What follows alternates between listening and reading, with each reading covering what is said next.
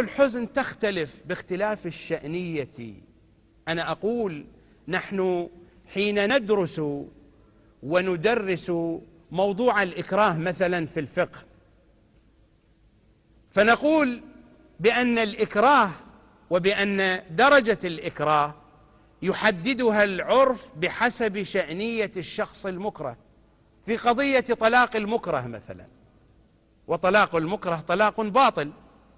حينما نأتي ندرس هذا الموضوع وندرسه في حوزاتنا ونتحدث عن درجة الإكراه ربما يكون لشخص درجة الإكراه أن يهدد بأن ينظر إليه شزرا أنك إذا حضرت إلى المجلس الفلاني أو في المكان الفلاني فإن فلانا سينظر إليك شزرا إن لم تطلق ويعد هذا من الإكراه بحسب شأنه.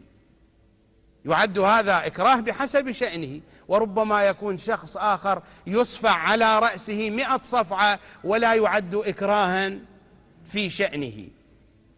هنا تأتي قاعدة الشأنية. في المال في المال ألا يقسم المال الأموال الشرعية تقسم بحسب قاعدة الشأنية. واحد من شأنه يعطى مليار وآخر لا يعطى شيئا بحسب قاعدة الشأنية. وهذا يجري حتى في توزيع الحقوق الشرعية. قاعدة الشأنية نراها تجري في تقسيم الحقوق الشرعية وفي تقسيم الأموال.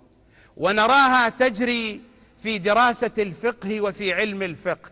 ونراها تجري في كل موطن آخر.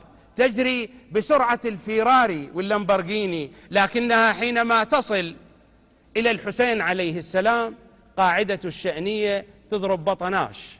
لماذا؟ قاعدة الشأنية واضحة.